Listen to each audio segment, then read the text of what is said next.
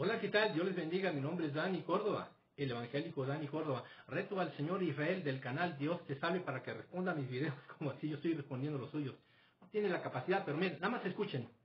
Corintios capítulo 7, San Pablo está diciendo que es mucho mejor quedarse como él, célibe, casto, no se está contradiciendo en el capítulo 9 diciendo, bueno, ¿por qué entonces yo no tengo esposa? No, mis hermanos, se está hablando de mujeres cristianas que les apoyaban en el ministerio, es así de sencillo. Los hermanos dicen, no, pero es que acá dice San Pablo, que el obispo sea un hombre casado, sepa bien gobernar su casa, que tenga hijos. Mi hermano, ¿y dónde están los hijos de Pablo? ¿Dónde está la mujer de Pablo? ¿Dónde está la mujer de Timoteo? ¿Dónde están los hijos de Tito? No existen, porque todos ellos eran célibes, eran castos. Entonces, que un protestante piense que San Pablo está diciendo que es un requisito que un obispo, que un sacerdote, un pastor sea un hombre casado, está contradiciendo al mismo San Pablo porque San Pablo no tenía hijos, no tenía mujer. Entonces San Pablo se está descalificando el mismo a Tito, a Timoteo también porque no eran casados. Bueno, ya lo escucharon. Así que Israel va a tener que responderme. ¿El celibato es bíblico? No. De la manera en que ellos lo quieren presentar, no. No es bíblico. ¿Qué nos dice el apóstol Pablo? Bueno, dice él primeramente que el apóstol Pablo dice que es mejor que quedarse como él, célibe y casto. Primero, no saben ni qué significa la palabra célibe, ni qué significa casto.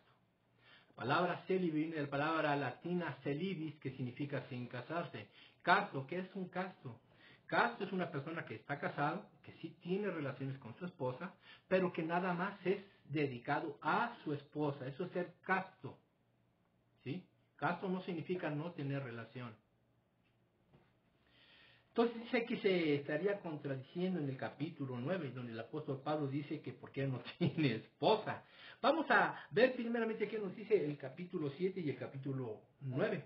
El capítulo 7 del versículo 1 en adelante dice, en cuanto a las cosas que me escribiste, bueno le sería al hombre no tocar mujer, pero a causa de las fornicaciones cada uno tenga su propia mujer y cada una tenga su propio marido. Aquí la palabra mujer aparece la palabra griega ginaika, que significa esposa.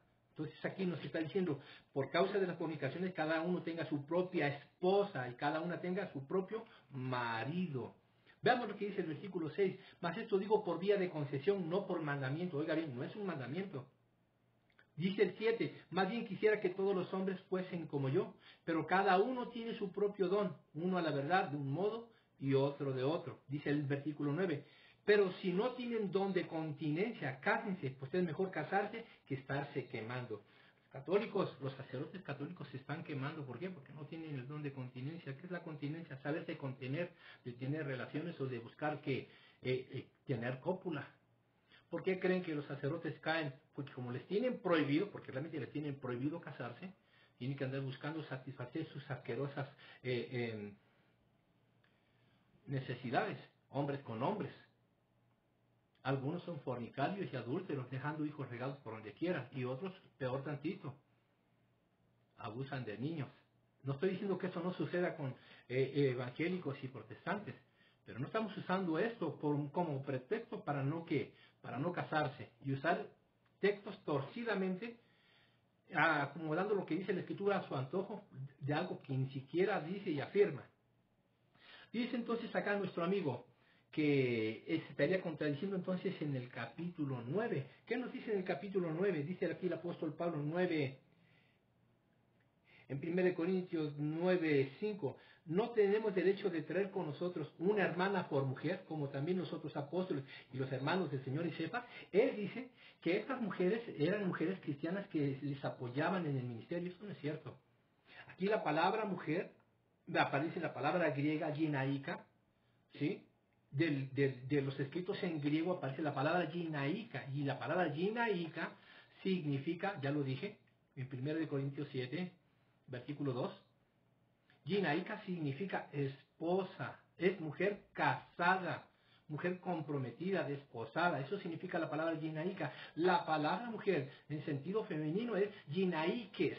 Es muy diferente la palabra. Se parecen, pero no es. Mujer, en sentido de mujer casada, de mujer esposa, es ginaika. y mujer en el sentido de femenino es Ikes. Está totalmente refutado. No eran usados para qué? Para que les, sirvieran en el ministerio. Eso no lo dice, ni siquiera lo dice el texto.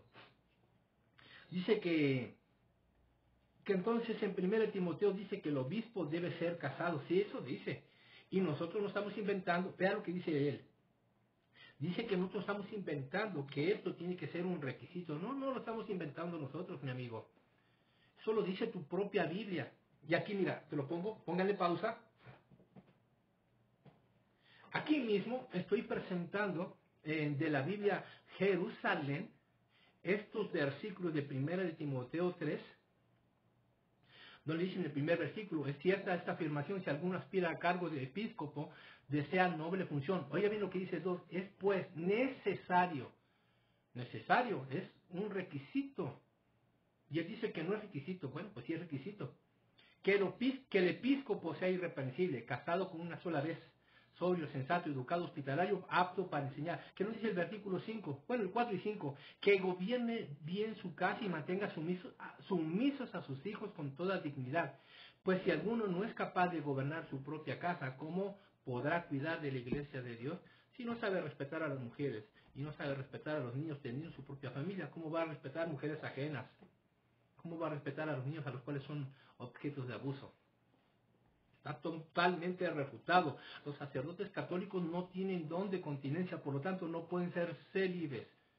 Bueno, pueden ser célibes, ¿verdad? Pero estarían cometiendo fornicación y perversidad.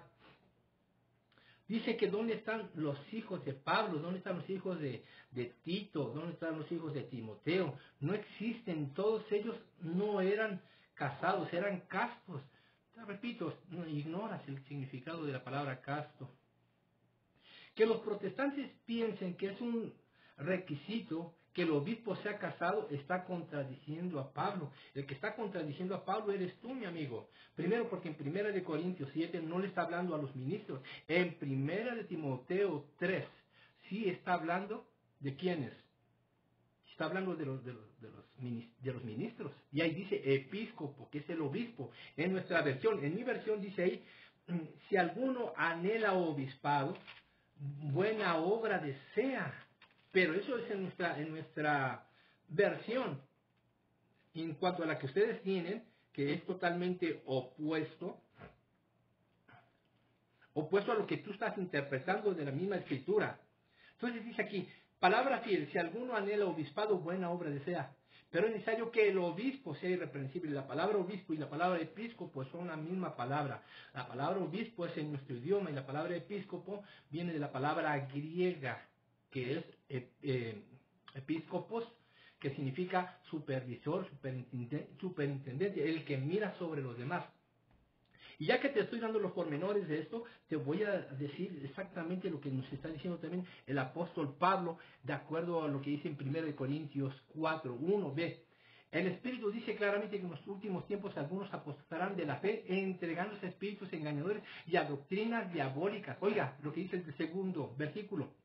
Por la hipocresía de embaucadores que tienen marcada a fuego su propia conciencia. Vea lo que dice el 3 estos prohíben el matrimonio y el uso de alimentos que Dios creó para que fuesen comidos con acción de gracias por los creyentes y por los que han conocido la verdad. El versículo 3 dice, estos prohíben el matrimonio. ¿Quiénes prohíben el matrimonio? Bajo la excusa de que es un voto. Ustedes, amigos, ustedes, la Iglesia Católica, contradicen al apóstol Pablo, contradicen a lo que Dios ha establecido. No somos nosotros el que está eh, tratando de ver una contradicción en el apóstol Pablo en los mandamientos que él da. Eres tú mi amigo, yo te reto, te reto a que tú contestes a mis videos como yo estoy contestando los tuyos. No estoy enojado, pero aquí estoy exponiendo tu ignorancia. ¿Sí? No eres capaz de debatir, no eres capaz de dar la cara. ¿Por qué? Porque no tienes argumentos. Te escondes ahí detrás de tu trinchera, ¿verdad? Ahí eres muy bueno hablando de nosotros, pero no eres capaz de enfrentarnos. No eres capaz. Yo te reto. Si yo soy el que te está retando, yo soy el que va a empezar. Tú vas a terminar el, debate y no voy a poder refutarte las últimas palabras que des. Tienes ventaja. Así que eh, piénsalo.